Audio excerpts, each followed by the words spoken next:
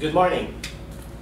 My name is Jason Valeria. I'm the program chair for the RN program here at South Texas College. And first and foremost, I would like to thank Mr. Williams for giving me this opportunity to present about the RN program here at South Texas College. The title of my presentation for this morning is Now is the Perfect Time because looking at the statistics, as far as projection of jobs for nurses is concerned, that nearly 2.4 million healthcare jobs will be opened by 2014. And the reason for that is, this is as, as a result of the Obama's healthcare law called the Affordable Care Act that each person in America would now have health insurance. Meaning to say that each one of us will now be entitled to promotive services, curative services, and rehabilitative services. No matter how controversial Obama's healthcare law is, it's pro-nursing as far as creating jobs for us nurses. Second reason, by the year 2015, all 50 states will suffer the nursing shortage. And the reason for that is, again, according to research, majority of the nurses that are working right now in America, as far as acute care setting is concerned, that the age bracket of registered nurses is between 50 to 55 years old. And looking at the retirement projection, once the economy picks up, who will be the next one to retire? We call them the baby boomers, so we need to replace them. And looking at the statistics state by state, location by location analysis, that the uh, shortage of RN is going to be most intense in the South and in the West. So it's job security for us nurses. Let's take a quick look of how much we earn as an RN, and this is according to the Bureau of Labor Statistics, the Department of Labor 2013 edition that the average pay of an RN is close to 65,000 annually. And to put that into perspective per hour is $31.48 per, per hour, and that is the base rate. When I say the base rate, if you work in hospitals, some hospitals that if you work weekends, they're gonna give you two to three dollars more on top of your base rate. Some hospitals that if you work night shift, they're gonna give you, again, incentives in terms of money uh, on top of your base rate. The good news here is the entry level, the basic entry to practice nursing in our area and across the United States is the associate degree uh, program, which is the degree that we offer here at South Texas College. We are very fortunate that our institution offers a variety of healthcare career options for you, but my main important question to each of my students is, is nursing right for you? It takes a lot of commitment, dedication, knowledge, skills, uh, care, and compassion when we take care of our patient. Before I go any further, let me just give you a glimpse of what we do as nurses.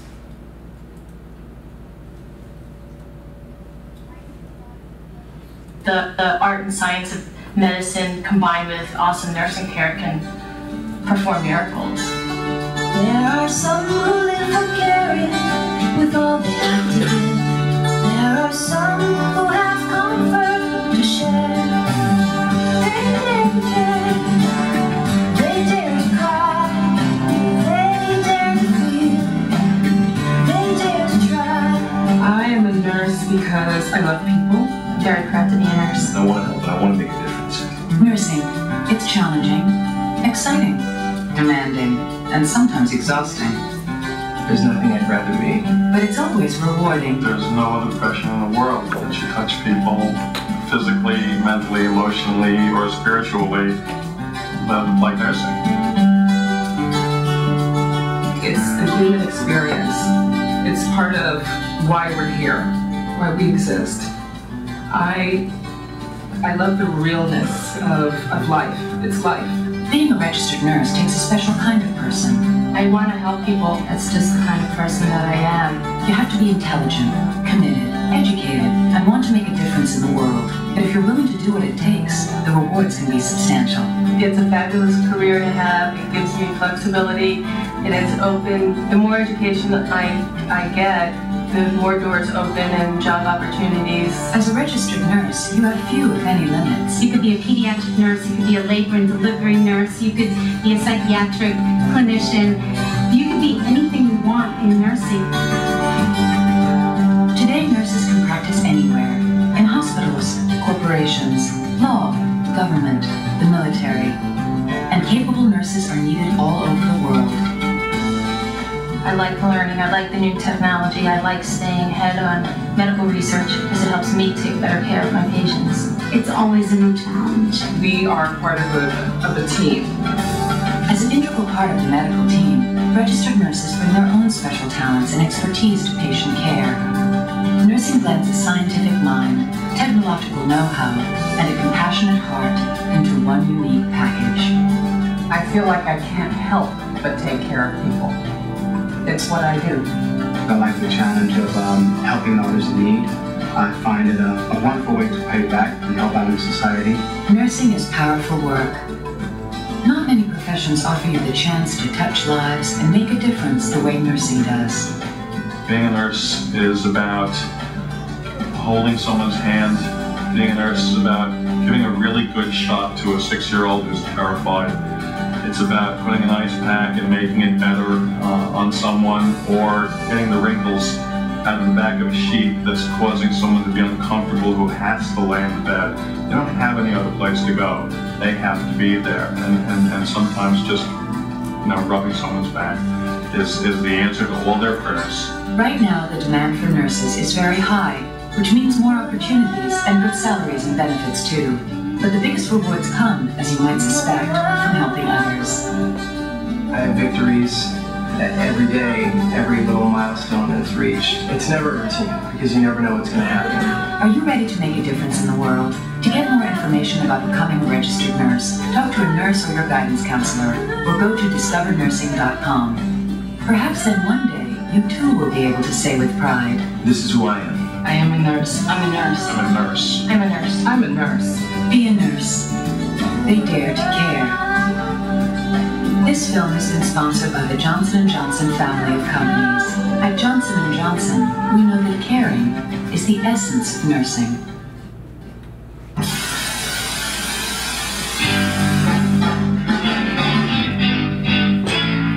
Now, as you saw from the video, there are many parts to being an RN. The curriculum that we have here in South Texas College is we're going to train you to become a nurse generalist. And what do I mean by that? In a given semester, we'll be teaching you how to take care of adult patients and their families. A given semester, we'll be teaching you how to take care of pediatric, pregnant women, psychiatric patients. Because once you take that National Council for Licensure examination, the question may stem from those courses. But once you become an RN, you do have the liberty to choose a field of nursing, and there are many fields of nursing to choose from. Not to mention, there are many settings that you can work. You can work in hospital, home health, in corporate, in cruise ship, in airplanes, and not to mention the school. In hospital alone, there are many departments you can choose from. You can work in ER. If you have a type A personality, I would recommend that. If you're the type of person that you like the adrenaline, ER works best for you. Critical care ICU, neonatal ICU, pediatric ICU. If you love dealing with babies, there is nursery, uh, pediatric, uh, neonatal ICU. For those of you who have a laid back personality, you can work in ER, uh, wound care department. Uh, you can become a school clinic nurse, home health nurse. So there are many options to choose from. Okay, and I always remind my students and advise them that once you become an RN, choose something that you are passionate about. In that way, when you work as an RN, it feels like you're just having a vacation. Not to mention as well, also the one of the perks of being an RN is the flexibility. Looking at your work schedule as an RN, as a full-time RN, in a given two weeks, you'll receive your paycheck, right? You'll be working three days in a week for one week, followed by three to four days of work, 12-hour shift, and you will receive your paycheck. So in a given week, you do, in a given paycheck period, you do have seven days off. So you do have the opportunity to do your leisure time, but what I recommend is for you to pursue your education from RN to BSN, MSN, or to the terminal degree, which we call it the doctoral degree. What a perfect segue to talk about the different tracks, the different degree for nursing. The first one is the degree that we offer here at South Texas College. The second one is the Bachelor's of Science in Nursing, which are commonly found in university, which take four years to complete. And then the last one, you have the graduate programs. You have the master's degree in nursing, which is the basic level entry to become a nurse practitioner. And the highest degree that you can attain in the RN degree is the doctoral degree or the Doctor of Nursing Practice. So let's talk about uh, STC RN program, specifically at South Texas College. With all humility, we are accredited by Texas Board of Nursing and regional accrediting body Southern Association of Colleges and Schools, we call it the SACS. After meeting all the requirements of the program, your diploma will state Associate Applied Science, major in Associate Degree Nursing. You now have the eligibility to take the National Council for Licensure examination, and after passing the test, then the Texas state will give you the legal license to practice RN in the state. Um, our job placement rate for the year 2012 was 99%, and the year after that was 98%. This is very significant for you guys because, number one, how do we define job placement rate? From the time that our students graduated, within six months they were able to find jobs. And this is our placement rate. So let's take a look at the two phases on how to build the program. The first one is the application phase most of this, you already uh, have these requirements. You must be a high school graduate or GED or its equivalent. You must be a TSI complete. The peculiar nursing entrance examination that we require for our students is the HESI A2, which stands for Admission Assessment Exam. When you take this test class, you're going to be evaluated on your grammar, sentencing, and that's the English component. You need to get 75% or better. The science, you have the option to choose chemistry, biology, microbiology, and A&P. I want you to take only the A&P portion only, okay? And you need to get 75% or better. The last one is the math, which is 75% or better. Once you see the result, you see the composite, your overall score. We don't take a look at that. What we look at is each component, you need to get 75% or better. When you take this test, there are only two versions of the test. You can combine your results within a given eligibility period or within a semester. What do I mean by that? If let's say you're going to take HESI A2 today, and most of my students, they fall short on the A and P, you get 80% in English, and then in math you get 82%. However, in A and P you get 72%. The second time you take the second version of the HESI A2, you only need to take the science portion within a given semester. In the event that you still didn't get the minimum score for A and P, you need to wait for the next semester and you have to take the whole three components. Okay? Once you take this test, you'll also be evaluated what type of personality you have, and what kind of learner you are, which I believe uh, from this class, you already know what type of personality you have and what kind of learner you are, okay? You must earn a minimum cumulative GPA of 3.0 in the 4.0 scale in all courses of the ADN.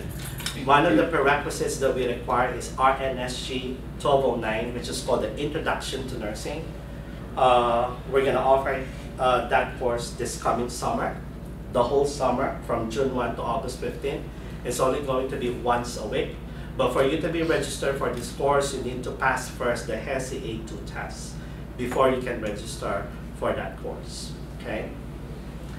Um, you must satisfy program-specific requirements for clinical examples of this are your hepatitis B series, uh, your TB test, your CPR, so on and so forth. Once you are admitted in the program, we're gonna orient you more as to the different requirements for the clinical. But as, as early as now, if you have not done your hepatitis B, because sometimes it takes six months to complete the three series, even though you then you apply, then you get admitted. If you don't have the three shots of hepatitis B, you won't get admitted to the program. Okay? For those of you who have taken other courses outside STC, and if you think that course will be transferable to us, all you need to do is call this number and make an appointment to see me in that way.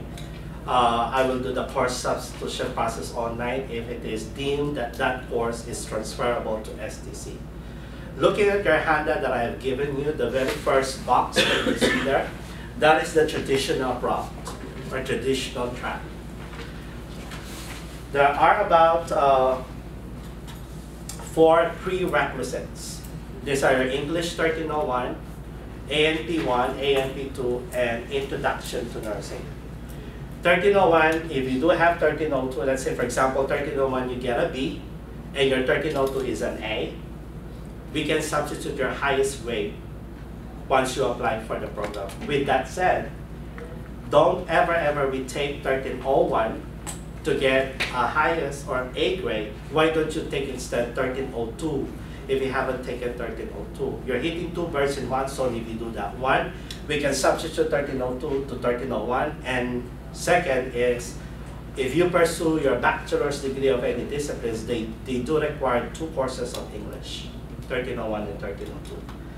By the mere fact that you already finished these prerequisites with a B or better, you are already eligible to apply for the program. The other two courses that you see down there, we call it the core requisites.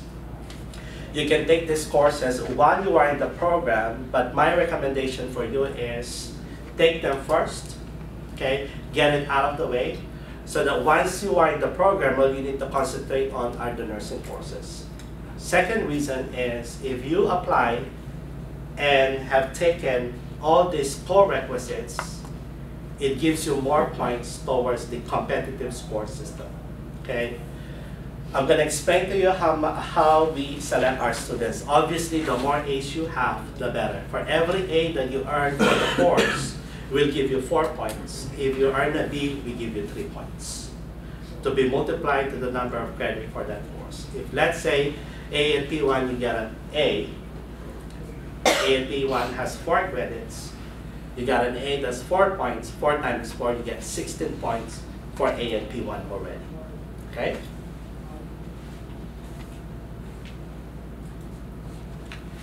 There are different tracks or ladders uh, that we offer at South Texas College RN program. You have the traditional or the generic, which we admit twice a year, every fall and spring. LVN to RN track, which we admit every spring and summer. I would like to briefly discuss about the progressive VN to ADN track. If for some reason your plan A is to apply to the generic track and for some reason you didn't get accepted, Please don't lose your hope in becoming an RN. Just remember the statistics. By the year 2030 to 2032, we're going to be a hot commodity as far as occupations is concerned. Okay, and it only takes two years to become an RN. Again, the progressive VN to ADN track is you need to apply to the VN first. They only admit once a year once they review your transcript, if they uh, see that you also have prerequisites towards the RN program, they're going to offer you the progressive VN to ADN track. You're going to finish the LVN for one year, should usually 10 and a half months or 11 months, from fall to fall. You pass the LVN board exam, and since you are in the track, by spring, all you need to do is transfer with us without having to compete with the rest of the students and pursue LVN to ADN for one more year. Okay? And we only do that every spring. The summer admission for LVN is usually open to the LVN outside the community. And the last track that we offer is paramedic to RN track. These are the prerequisites. We, I think we already discussed them and also the core requisites. Uh, this coming fall of 2015, this is going to be the new degree plan. And as a result of the Texas Senate Bill 497, mandating that all associate applied science degrees, not just nursing, but the whole associate applied science across the state of Texas must come down to 60 credits minimum. Now looking at your handouts, on the second page, that is the whole prospectus of the ADN degree plan. Uh, we do admit again every fall and spring. The spring prospectus is also the same as the fall. So let's say for example, if you are eligible to apply for the program this coming fall, I would like to uh, inform everyone that the application is from June 1 to June 12. okay? I want you to watch our website. It's not updated yet because uh, we are still following the LVN admission this coming two weeks. And then after that, I'm gonna update the website for the traditional track. So if you get admitted with us on the fall semester, these are the four courses that you have to take. And then you'll continue spring, right? Okay? And then summer, usually you're, you're off. What I recommend for my students is instead of not doing anything, why don't you take courses towards your bachelor's degree? In that way, once you finish your degree with us, pass the NCLEX licensure examination, become an RN, all you need to do is pursue RN to BSN via online. Okay? With that said, we do have three articulation agreements with the following universities. Texas Tech University, University of Texas Tyler, and also Texas A&M. That if you finish our program, all you need to do is take their prerequisites and then transfer to the university, take the BSN program online, and you don't need to go in school face to face or do clinical because you are RN already. Okay?